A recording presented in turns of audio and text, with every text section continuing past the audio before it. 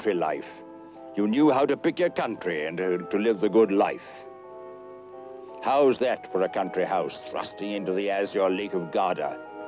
No doubt a, a shipping millionaire or a successful company promoter, or much the same thing, the ex-governor of a fat province lived there in cautious retirement if he escaped prosecution for extortion and corruption.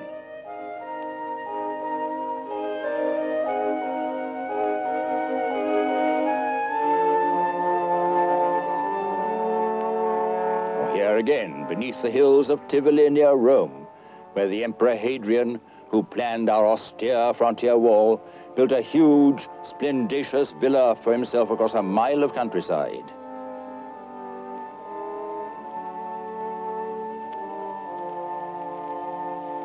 But cultivated country life was by no means a Mediterranean monopoly. I have in mind a little Roman house tucked away in one of the lovely valleys of Kent at Lullingstone. Their knowledgeable country squires lived for three of the centuries of Roman Britain.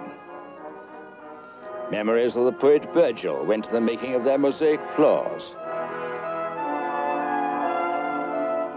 Their tables were furnished with elegant simplicity.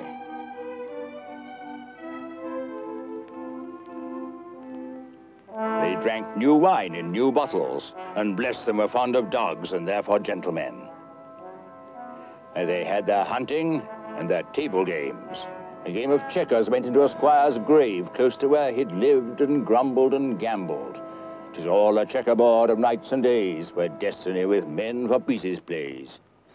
Towards the end of the empire, the proprietor was a Christian who turned one of his rooms into a chapel. Praying figures were painted on its walls. And beside them was a sacred monogram of Christ. The Roman Empire was full of these gracious establishments, of which uh, Jane Austen would have approved fully. Inside them, family life proceeded on a well-ordered pattern. It would scarcely be an exaggeration to say that the Romans invented home life in our sense of the term. When we look at their serious faces, full of individual character, full of that gravity and responsibility of which they were inclined to boast a little, we can think of these Roman family men sitting on the next seat on a bus or at a shareholders' meeting in the city. And then there were those splendid Roman women, pursued by uh, cynical historians. They've had a bad press, but in truth, in a predominantly masculine society, they show up remarkably well and much of the stability of ancient Roman life is owed to them.